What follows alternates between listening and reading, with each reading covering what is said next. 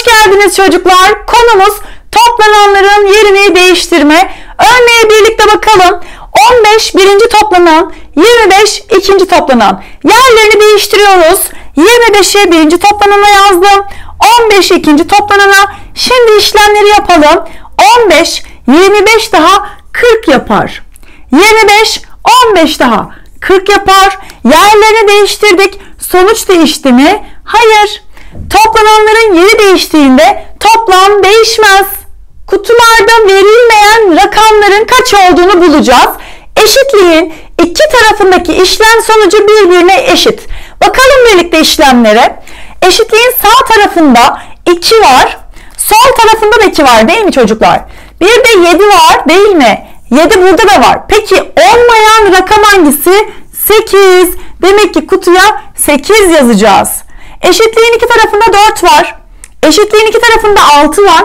Olmayan rakam 9. Kutuya 9 yazıyoruz. Eşitliğin iki tarafında 5 var. Eşitliğin iki tarafında 3 var. Olmayan rakam 7. Kutuya 7 yazıyoruz.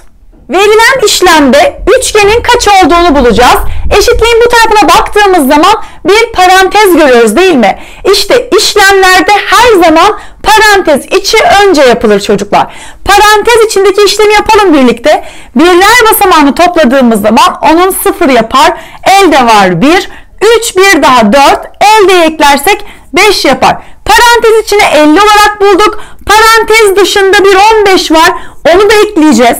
Eklediğimiz zaman kaç yapar? 65 yapar. 65 eşittir. Artık burayı yazabiliriz.